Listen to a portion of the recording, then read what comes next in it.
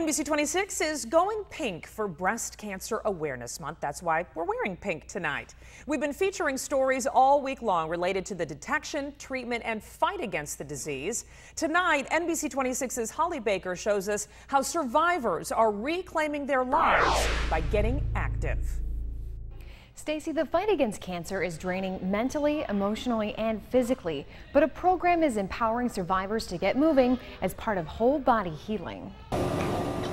At the YMCA in downtown Appleton. We started, you know, at a low pace, and right now, I mean, it's, it's incredible my endurance from the beginning till now. Cancer survivors like Sally Schultz are returning to exercise after her 15 month battle against breast cancer.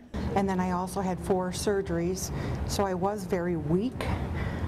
And when I heard about the Livestrong program, it was a perfect fit for me. The Livestrong program is a 12 week cancer survivor group exercise program, and now the YMCA is offering an extension of it with the nine month Stay Strong program through ThedaCare. This one just goes a little bit deeper. The participants really bond with each other almost immediately. Allowing them that opportunity to build that endurance, to build those connections, it's about that mind body um, spirit journey. A journey to strength through physical activity tailored to fit the needs of each person as they fight the fatigue from treatment. It's really, truly amazing on what they've gone through and their will to keep moving forward. A gradual immersion into life after cancer and a bond with other survivors to continue reaching higher and further.